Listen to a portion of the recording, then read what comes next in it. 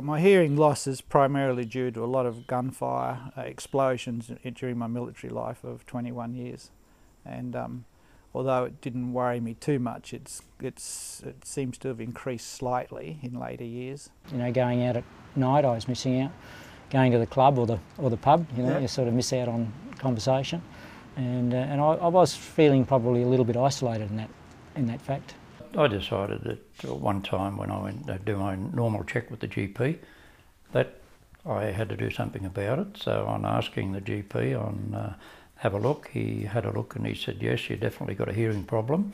It's uh, not a problem with your actual wax or anything like that. So a lot of people were saying to me, you know, didn't you hear me? And they were repeating it, and uh, Val was on my back, you know, you're not listening to me. A lot of jokes going around that you had selective hearing, but it was actually a hearing problem. The wife and I was in the doctor's surgery one day, and the doctor said something, and I turned around to the wife and I said, "What did he say?" And he caught me, and he said, "Are you having trouble hearing?" And when I looked at him, I could hear him, you know, and I said, "Yeah, sometimes I do have trouble with things." And I had to go and get. He says, "Oh, you go and get your ears checked," and that's how it started.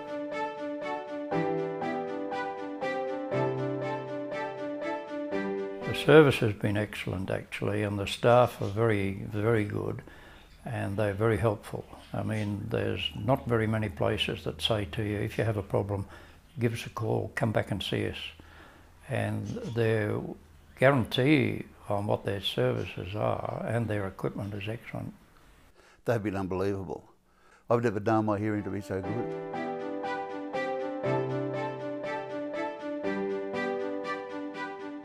It's amazing the technology changes.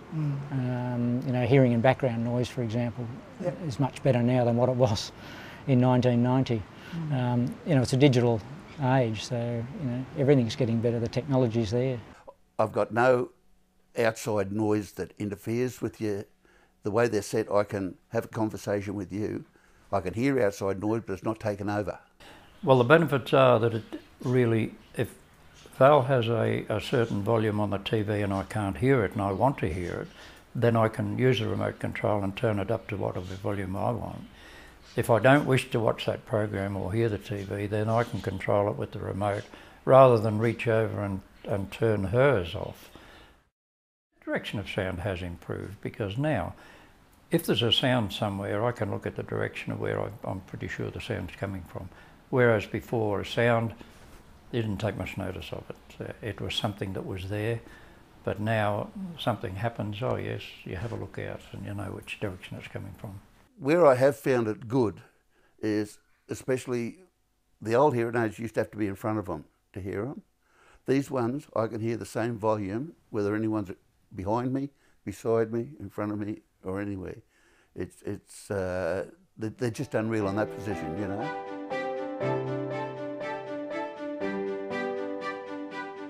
As I'm getting older and I'm, you know, got lots of spare time, I spend a lot of time fishing. So um, up till now, I really haven't wanted to wear a hearing aid in that environment. And it's a harsh environment. You've, you've got, it's, and it's all salt water.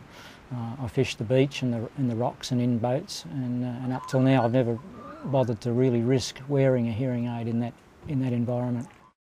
It's maintenance, I think. You know, if you if you're fishing, and quite often I'll cop a, a wave or something, you know, a bit of spray, and, and that's that's the end of a hearing aid. You know, and salt water's not very kind to them.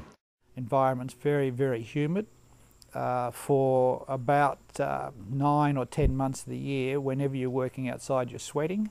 So you've got water pouring down off your head, round your ears, and things, and the hearing aids just couldn't take it. Well, up here in North Queensland, like as I said, we're living next to the rainforest. We've got a lot of humidity, especially in the wet season when it's raining for weeks on end. It could be up to nine weeks of, of rain. The humidity's very high. I perspire a lot. The hearing aids get full of moisture. You dry them out at night. You put them on, they're full of moisture within 10 minutes again. Inside the hearing aid, uh, the biggest thing with this is that it's, it's waterproof. And, uh, and as I spend a lot of time in or near water, then um, you know it's a great benefit. In an environment like this, the waterproofing is unbelievable. They're dried, they're sealed. I just give them a wipe over when I take them off.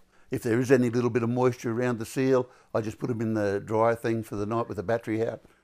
compared to the other hearing aids, you can't beat them. I've been given a, a, pair of sports clips, they call them, and the hearing aids fit in those, and the clips fit around your ears, and they've been marvellous. The advantage of the sporting clip is it gives you a secure fitting to your ear. Uh, you can feel that clip all the time there, and if for some reason your hearing aid gets caught in wait a while, or a branch of a tree, or some sort of vine, or you actually hit a mosquito or an ant and knock it off, you actually feel it pulling off your ear. Uh, I'm much more confident in wearing it all the time now, whereas previously I wouldn't wear them in the bush uh, and circumstances where I thought they could be torn off. Yeah, there's no, there's no comparison. I mean, Aquaris is, you know, it's, it's waterproof, so, and you've got every confidence of, of wearing it in there. You know, something like this is, it's just unbelievable, really. I mean, you, you know, you can wear it just about anywhere.